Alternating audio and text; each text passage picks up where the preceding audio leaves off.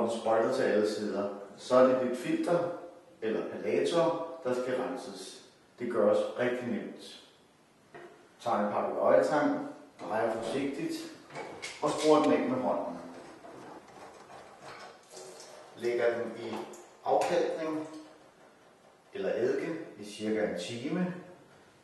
Skyller den og monterer den igen.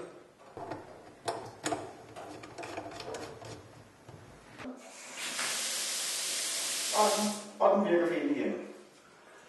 Hvorfor man bruger palator, det er for at spare på vandet. Inde i palatoren er der en masse fine huller, som gør, at man ikke behøver at bruge så meget vand, som man skulle bruge uden den her. Hvis bruseren heller ikke virker, og den trænger til en afkalkning, så gør det altså lige så nemt som en palator. Man afmonterer den og lægger den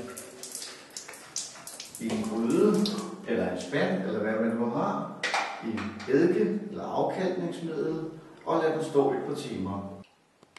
Herefter er den som ny og kan monteres igen. I Danmark er der meget kalk i vores vand, de fleste steder. Det ses tydeligt på jeres blandingsbatterier, der bliver grå, jeres vægge, der bliver kedelige, og jeres gulve, der bliver hvide. Hvis du skal holde dit badeværelse pænt og rent, skal du hver gang du har været bad, bruge en skraber til væggene og til gulvene. Til den daglige rengøring, eller en gang om ugen, kan du bruge universal rengøring. Det dækker det hele på badeværelset.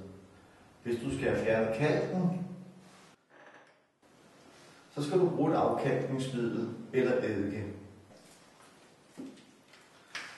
Husk altid at bruge handsker, når du gør rent, og læs brugsanvisningen på bagsiden ved de.